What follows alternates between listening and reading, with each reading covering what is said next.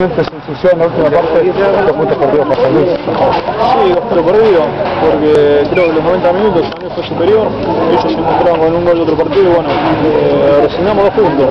Ya está, hay que pensar en lo que es el miércoles, la Copa Chile y bueno, eh, otra vez eh, todos este partido, porque bueno, ya, los errores me están costando caro.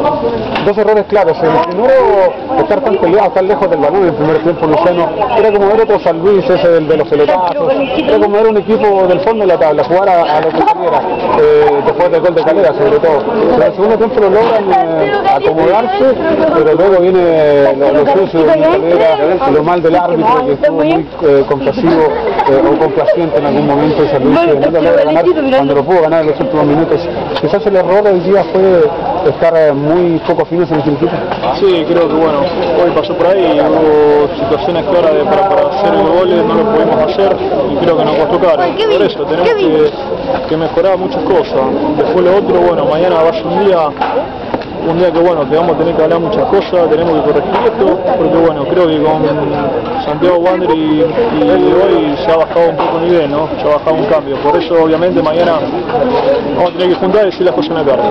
Muy bien, Luciano, seguir trabajando.